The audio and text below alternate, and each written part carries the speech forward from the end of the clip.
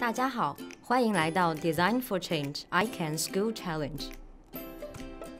我们将依循四个简单的步骤：Feel、Imagine、Do 和 Share，以此帮助孩子们发现他们的 I Can 超能力。我们称之为 Fits for Kids。在之前的影片中，我们讨论了 Fits 的前三个步骤：Feel、Imagine 和 Do。现在，让我们讨论第四个步骤，也就是最后一个步骤：Share。当你完成了你的计划后，我们希望你可以向全世界分享。分享你的改变故事，可以激励其他的孩子大声地说 “I can”。这个点子可以扩大你的影响力，从而推己及人。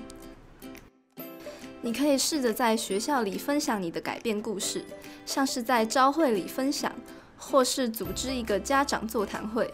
接着，甚至可以联络在地的报社记者和电视频道，将你的故事分享到社群媒体上，试着使你的故事让更多人知道。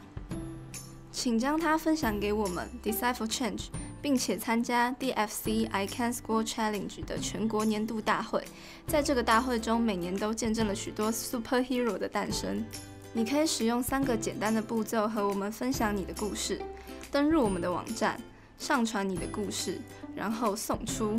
从注册成为我们平台的使用者开始，你可以使用两种格式提交你的改变故事：一是照片的形式，二则是影。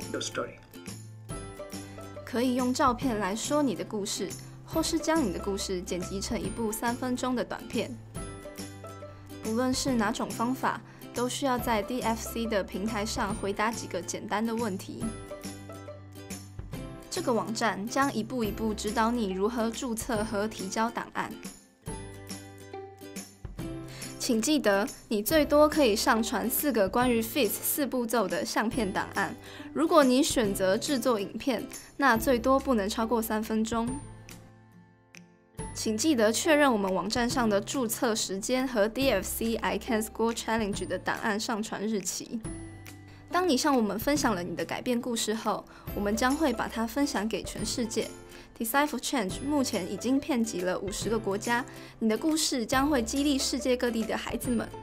现在你知道了 FIT 的步骤能创造出强大的改变，可以简单的告诉你的孩子们四件事情：Feel、Imagine、Do、Share，感受所有困扰他们的事情，想象一个他们想要带进生活中的改变。